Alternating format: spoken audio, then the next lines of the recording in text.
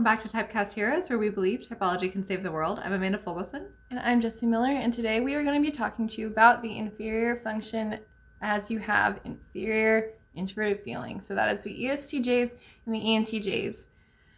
And the inferior function's a fun one. Um, this is the one that we tend to feel defensive, embarrassed, or vulnerable about. We know that we should be good at them, but mm-hmm. we're not good at them. Um, unlike the parent function, when we know we should be good at it and we are good at it, mm-hmm. this is mm-hmm. something that we know we should be and we're not. Um, so ESTJs and ENTJs, it's okay to be a little uncomfortable with this. It can happen from time to time. I can. But once you lean into it, think you'll like it, right? No. One can hope. So, as we say at the beginning of every video, anyone can be anything. And while we are not suddenly disagreeing with that statement, what we do want to clarify for these specific videos is that yes, while anyone can be and do anything that they want, there is consistency across ESTJs and ENTJs on what FI looks like in the inferior function. And it's going to look a little different, present itself a little differently than it would in the other positions in the cognitive stack. And that's really what we want to bring light to today. That being said, remember that this is all about the motivation behind the behavior. That is key. That is what we really want to push in these videos. There can be infinite behaviors that present in a certain way, like Amanda was saying, but this is looking for the motivations behind it. And also, we will be referring to what Carl Jung called the ideal average, ideal type average, if you are a normal person going through normal type development. So that means if you're in the middle of your life, this is probably going to look a lot different than if you were a teenager. Mm-hmm. You don't change type, you do your type evolves. Innate hardwired tendencies take a long time to undo if they are hardwired into you. So if you are an ENTJ or an ESTJ who's in the middle of your life and you're looking backwards, you should be able to recognize these behaviors as something you did in your younger years, assuming that you had a normal development mm-hmm. and nothing seriously knocked you off your type development. So just keep all of that in mind as we go through this. So as mentioned, the inferior function is something that we all of us who have every single person has inferior functions mm-hmm. and they are we de- get defensive about it. We get embarrassed about it. We get um, super vulnerable about it. But we also sometimes, especially as we get older, it can be kind of like a relief to lean into our inferior function. So there are mm-hmm. positive things that can come from getting in touch with your inferior function. And if you are on a journey of self discovery or self improvement, the inferior function is a good place to start because that is across the board the one that people struggle with the most in the beginning of their journey before mm-hmm. they learn about all of the shadow and the other all things the things that we will be discussing later. Um, so introverted feeling as it just presents, just hardcore introverted feeling, and there are so many resources on our channel about it, uh, so many videos about introverted feeling, but as it just presents, if you were able to pull it out of all of the other things and just mm-hmm. look at it in a vacuum, it is when you decide what you value without logical reasons, without data, without anything. It's just this is what makes sense to me. This is what I believe in.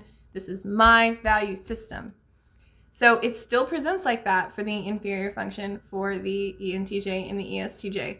However, because it is their fourth function, it's introverted, and ENTJ and ESTJ are extroverted. Mm-hmm. It's introspective and feelings based when they are extroverting and uh, thinking and thinking based, mm-hmm. logic based, it is sometimes very difficult for them to tap into this function. So these are sorts of behaviors that can happen for an ESTJ and an ENTJ. Because it is their inferior function, they don't always have the full emotional nuance that other functions would have higher up in their other users would have higher up in their stack. So that means that when they present emotions, if they present emotions, they probably have a very short range of emotions mm-hmm. that they present. And extroverted feelers in particular are judgy of this type because they're like, you are not presenting emotions the way that you should be presenting emotions. Because the ENTJ and the ESTJ will have a very unique way that they react to things or that they show emotions. And so the extroverted feelers don't even realize that the ESTJ or the ENTJ are showing an emotional response unless it's a very hardcore. Like, in your Outburst. face screaming yeah. emotional response. So they'll say that they're unhinged or that they don't have good control over their emotions because in reality what's happening for the inferior introverted feeling function that is really hard to say inferior introverted feeling function is that it doesn't have a wide range it doesn't mm-hmm. understand the full nuance because the brain of the ENTJ ESTJ does not spend a whole lot of time there so it, in, it is the beginning of our unconscious functions so it is something that they're not always quite adept at using so some of the behaviors you can expect to see in the introverted feeling users in addition to what was just mentioned, is the fact that they will project their own embarrassment and um, their own insecurities about introverted feeling onto others. So they will have a tendency to say, I'm not a bad person. I'm not a person without integrity. You're a person without integrity. Because they don't want to have to look at themselves and say, I haven't really developed my introverted feeling function. I haven't really looked into it. I don't really know what I stand for. So instead of doing that, I'm going to project. And we all do this. Introverted yeah. feeling functions make everyone project. But this is the one of the biggest sources of projection for the ENTJ and the ESTJ is that they will be like, "You are the one, sir. Yep. You're the one." Who, and it's almost doesn't an immediate know yourself. reaction, like any like it's almost like a defense that's like up, and so the second you say anything, it's it's that's going to be the first response it's not something that they have to like think through it's not it's not something that's taught or learned it's just organically how it's going to be until you focus on the mm-hmm. inferior function to strengthen it mm-hmm. and if you tell them that if you tell an entj or estj one of the best ways to hurt them i don't know best ways the term but one of the yeah. quickest ways to hurt them is to tell them that they don't have feelings or to tell them that they are um, a person without integrity because they mm-hmm. already probably know that they already know mm-hmm. that they have they have work to do if they haven't worked on it already. And if they have worked on it, then that's even worse because yeah. they're like, man, now you're telling me that I'm an ineffective person, and that yeah. sucks in general as well. Or some of these types will lean into that and be like, yeah, you're right. I don't care about anything at all. I don't care about you. I don't care about people. I don't care about humanity. Blah blah blah. Also not true.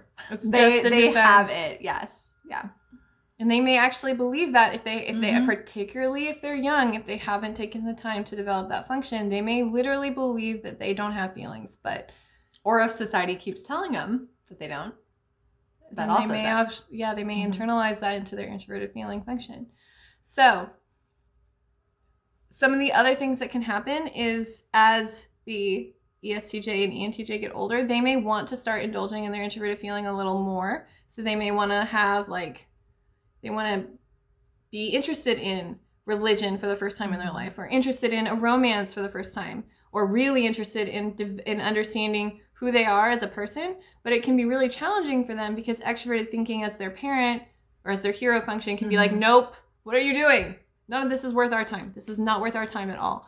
But it can almost feel like a release to them mm-hmm. because they've spent so much of their time getting things done that's having a moment to look into yourself and figure out what makes sense to you can seem really peaceful and really meditative. It can also be really challenging, a whole lot of work. Yeah. But if you lean into that, like Amanda was saying earlier, mm-hmm. and you just kind of own it, it can be a really relaxing process for you. And that can kind of sometimes look like maybe a midlife crisis. And if you're younger and you're watching this, then run with it. like take what we're saying and run with it. So that way you don't hit that all of a sudden you know 20 years from now and you're like wait ha- i actually have values and i believe in things and have i done anything to add to that mm-hmm. or have i gone against it my entire life just because of a more efficient way to do things or a better way to do things mm-hmm.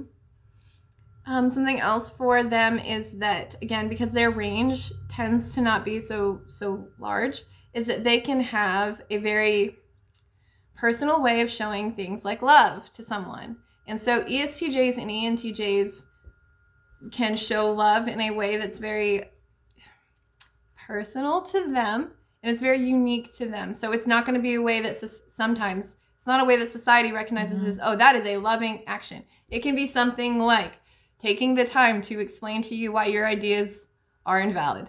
Or it can be something like trying to make your system like the way you organize your home or the way that you run a program, they can make it more efficient for you and they don't have to. It's not something like a job, it's just something that they're doing because they care about you. It's almost like a backhanded compliment. Those are probably created by ESTJs and ENTJs who actually loved somebody who's saying like, "You look gorgeous today."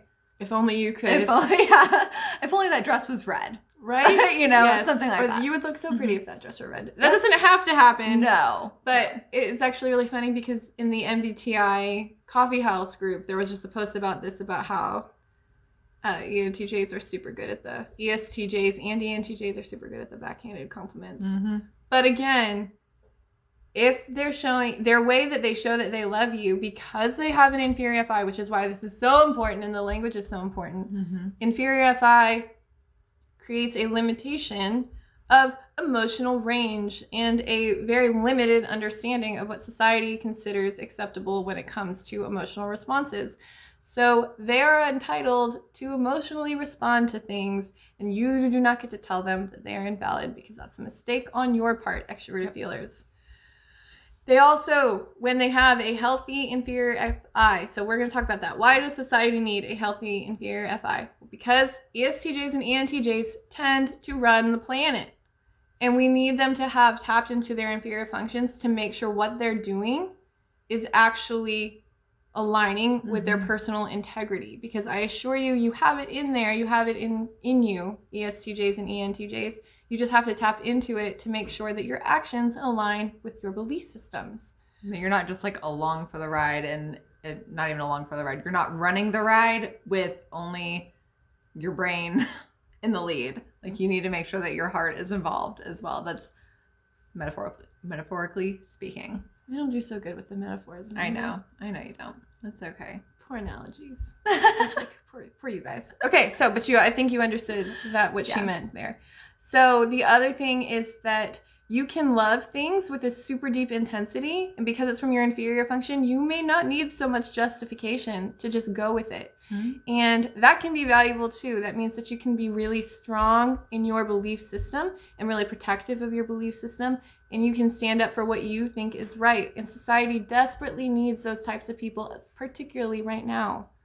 So, because introverted feeling tends to not have that whole nuance and that whole range, it can look like very sure of itself and very strong in its beliefs because it doesn't really have to question it that much because it's not, it doesn't spend a whole lot of time there. But that can be a good thing if they've spent some time developing their belief systems and what they value, then they can go forth and get things accomplished with their extroverted thinking, and their introverted feeling process can make sure that it aligns to a moral code. And they're not going to be somebody who wants to discuss their values with you or their integrity.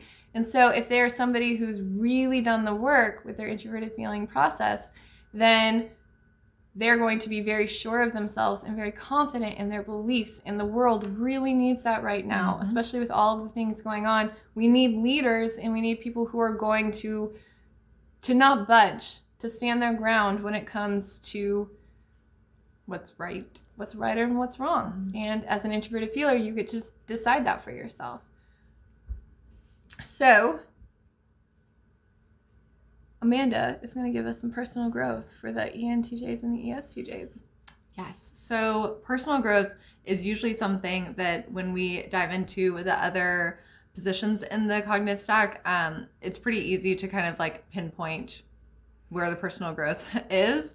Um, here, your personal growth kind of lives in your inferior function. So the function itself, start with leaning into it. That is where personal growth would start. And so many people, not just ESTJs and ENTJs, everyone, when they start on this journey, just like Jesse was saying in the beginning, they kind of tap into that inferior function first and they're like, okay, that's clearly my weak spot. Let me go after that. So that would be my encouragement to you is to lean into it. And just like Jesse said, if there was ever a time that the world needs you to do this, it's now. And an introverted feeling is can be so powerful and can create these big waves and these movements and if you're standing your ground and you're the leader that ESTJs and ENTJs are basically born to be, and you have a strong FI, you're unstoppable. It would just be amazing to watch you in action. So that would be my encouragement to you is to honestly just start leaning into it. Start somewhere with your in- introverted feeling.